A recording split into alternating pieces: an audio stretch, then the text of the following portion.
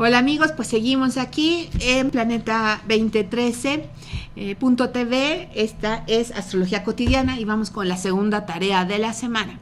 La luna va a transitar de Libra a Sagitario. Mientras transita, está en la fase que se llama diseminadora. Ahorita van a ver la imagen. Esta fase diseminadora es quiere decir que la luz que está reflejando del sol se va quedando del lado donde no lo vemos nosotros, por eso la luz se queda del otro lado, nosotros vemos la parte oscura y es un periodo donde la energía implica síntesis. Está ahora pidiéndonos que nos recuperemos y terminemos con el ciclo lunar. Es fundamental que todo lo que habíamos dicho de comunicación entre con uno mismo de encontrar la verdad y con la pareja y con nuestros seres queridos empiece a cerrarse, a concretarse ahora. Hoy estamos en un punto de equilibrio. Eh, eh, Escorpio nos va a exigir profundizar. Ahora, ¿cuál es la tarea de qué es lo que dice la luna diseminadora? ¿Qué quieres comunicar? ¿Comunico qué? ¿Enseño qué? ¿Qué necesitas esperar? ¿Qué necesitas madurar? ¿En qué necesitas conectar la prosperidad y la sabiduría? Conéctense con su comunicación natural. Y ahora sí, Diego, nos vamos a la, a la imagen. Está la luna en la, digamos que casi a las 12 de la noche, a las 11 y van a ver cómo está acompañada de la encerré en un círculo de dos asteroides, la Luna y Vesta, eh, Marte está allí moviendo el análisis, pidiendo acciones precisas y la luna entre eh, Ceres y Vesta dice, a ver, a ver, calma, sí quiero ponerme de acuerdo, pero esto es lo más sagrado para mí en la relación y esto es lo que yo quiero nutrir. Enfrente, quien cree en Urano dice, así, ah, pero lo que yo necesito es libertad. El compromiso está en la transformación, porque eso si lo, si lo cierras un poco, Diego, es como una T a la parte del medio, gracias. Es como una T y en la T, en la cabeza, en una de las patitas está Plutón y Venus. Se había dicho la semana pasada que Venus en Capricornio no está dispuesta, no se siente cómoda, no está dispuesta a trascender. Sí, lo que sea que me des es bueno. Mm, mm. No, necesitan negociar. todos los Capricornio, toda nuestra parte Capricornio y todos los demás, necesitamos preguntarnos cuál es la verdad. ¿Qué es lo que valoras? Entre lo que está bien, si mi vida es lo que quieras y no mi vida, no hagas nada. Y yo quiero hacer todo. ¿Cuál es el punto?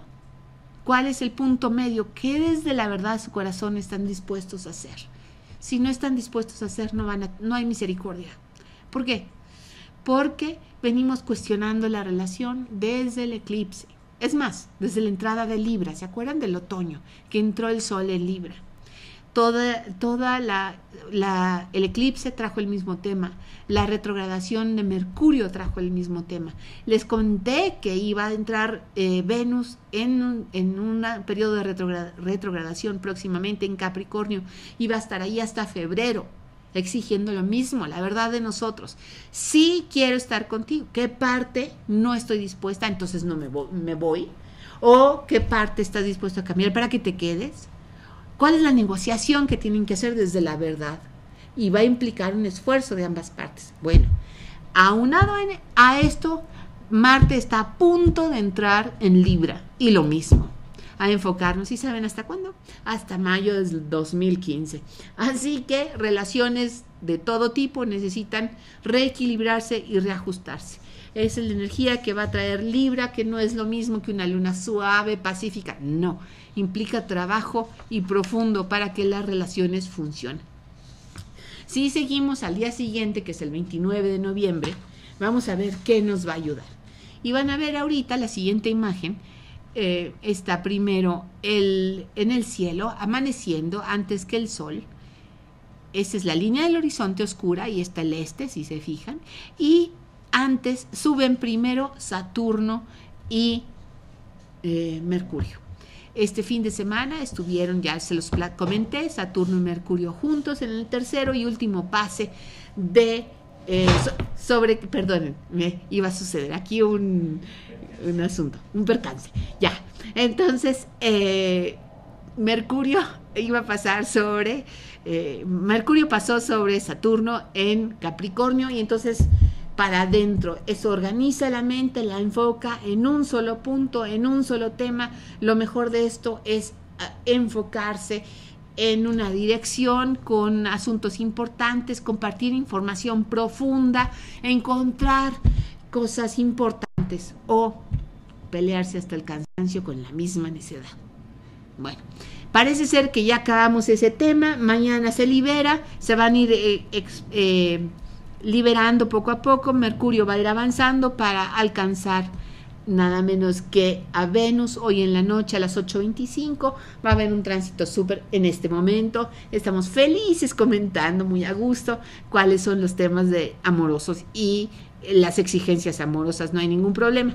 ¿Por qué? Porque Mercurio y Sagitario están colocando su energía organizadora y aprovechenla porque esta energía organizadora permite que el crecimiento que viene de Júpiter en cáncer no se confronte con exageraciones, sueños guajiros o eh, posesividades o controlaciones, perdónenme la palabra, exageradas. Saturno y Mercurio van a poner orden en el punto. Entonces, 29 de noviembre es, una, es un momento muy importante porque la luna está terminando su tránsito en Libra. Acuérdense que va a entrar fuera de curso.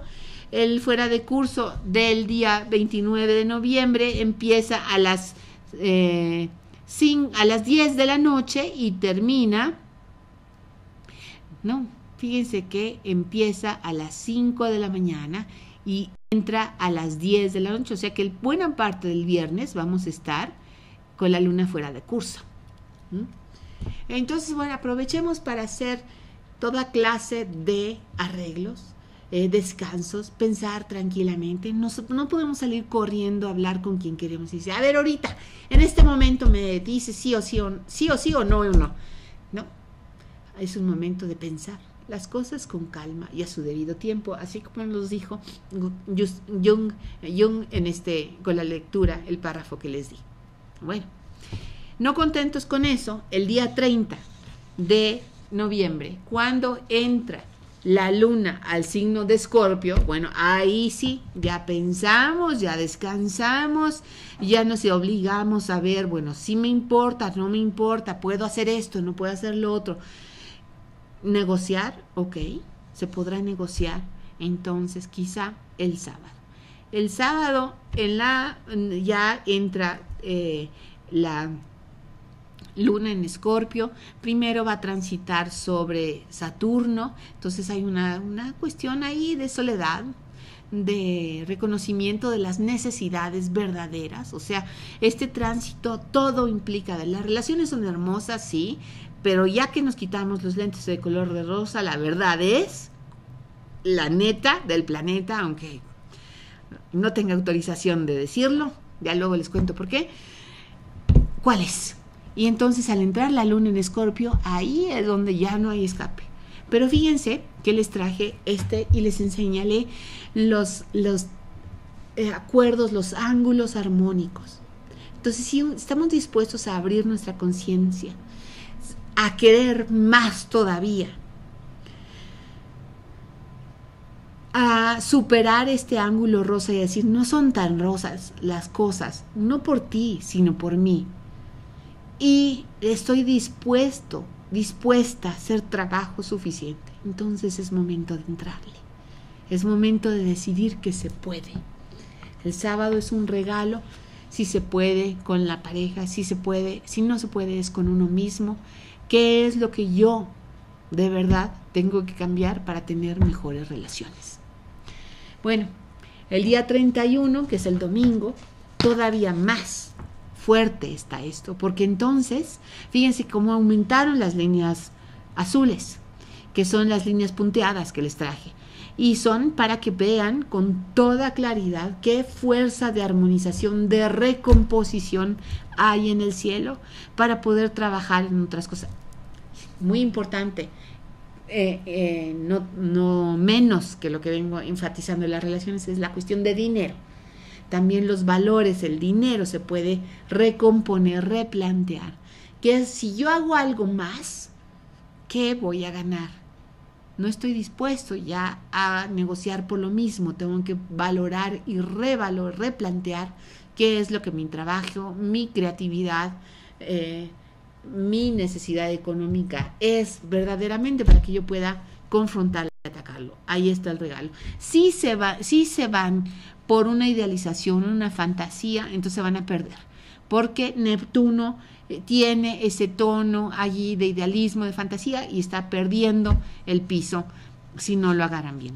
Eh, cuando estuvo el día 30, el día anterior, entró la luna en Escorpio, entonces sí, allí pueden hacer la visualización, esto es el sábado en la mañana y saber mi pareja ideal, mi relación ideal, mi ser ideal, mi yo ideal como pareja es así.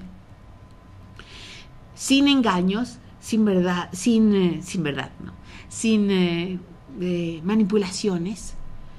Por favor, soy así. Y desde aquí puedo mejorar esto y no puedo mejorar esto. Así son las cosas, esto es lo que tiene lo que me conforma y esta es la gran oportunidad del fin de semana para restablecer esto es un paréntesis muy importante para restablecer las relaciones como se las he venido planteando. Bueno, finalmente el lunes, que es el 2 de diciembre, llegamos a lo que es la luna nueva. La luna nueva en Sagitario va a amanecer así. Acuérdense que eh, la luna va a anteceder al sol porque a, esa hora, que son las 6.51 de la mañana, no eh, ha alcanzado la luna. Es el último periodo, las 12 horas, porque se va a completar la luna nueva a las 4 de la tarde. Y este periodo implica, no es un, eh, ver si es un periodo de eh, luna fuera de curso.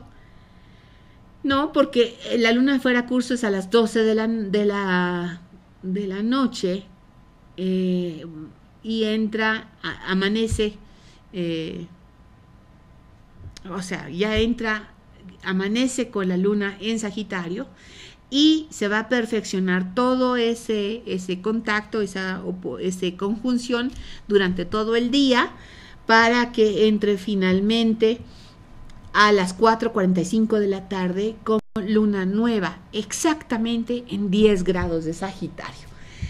Em, aquellas personas que cumplan años ese día, más que nada, que es el 2 de diciembre, tienen la obligación de renovar su ser en toda circunstancia, porque la luna está en Sagitario, porque implica una luna nueva, porque está en un gran trígono ambos, ambas luminarias en la luna, la luna y el sol con Urano. Entonces, si de suyo Sagitario quiere libertad, que creen este año, sobre todo para los que cumplen ese, ese día y los días posteriores también, los del primero, dos, tres, cuatro más o menos, cinco, alcanzan este, este ángulo, este deseo, este regalo de libertad. Y bueno, todas las relaciones, ya dijimos que sí queremos, que no queremos, etcétera. Bueno, el punto de la cereza el pastel es, bueno, sí, ya nos pusimos de acuerdo, pero encima, sobre todo, va este regalo de libertad, es para ser más libres, no para atarnos más. Y en este momento la luna nueva trae ese regalo. En unos momentos les voy a sugerir la tarea de la luna nueva en Sagitario. No se me vayan, que aquí seguimos con astrología cotidiana. Volvemos.